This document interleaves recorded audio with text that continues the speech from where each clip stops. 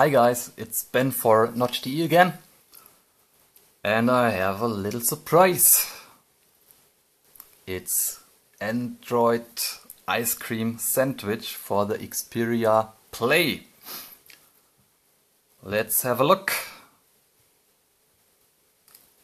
It's Android version 4.0.3. A leak from an XDA developer user named DooMLoRD. It's running quite nice. There are some things that are not working yet. For example, the camera. It just force closed.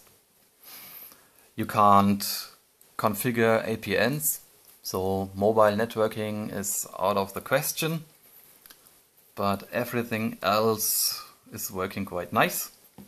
You can use the browser, you can configure Wi-Fi networks, you can use the tabbed browsing, open sites,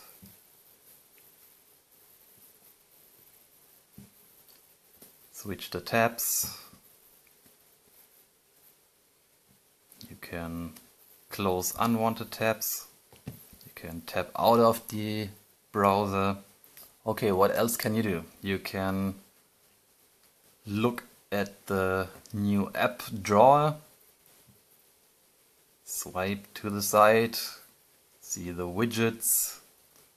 You can take a widget, oops, you can take a widget look for a free space. Here's enough space. You can yeah, take a Gmail widget. You can resize the widget. It's working quite nice. The gamepad is working too, but there are some graphic glitches when running games.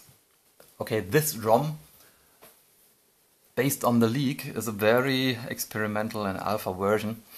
It's running quite nice, but you have to expect spontaneous reboots. You can't connect via mobile networks because you can't save any APN settings. You can use it in your local Wi-Fi. You can surf and browse the web. You can use the Google Apps. All this is working fine. Camera isn't working. I hope you got a first look on Android Ice Cream Sandwich on the Xperia Play. My name is Ben for nodch.de. Thank you for watching. Till next time. Bye.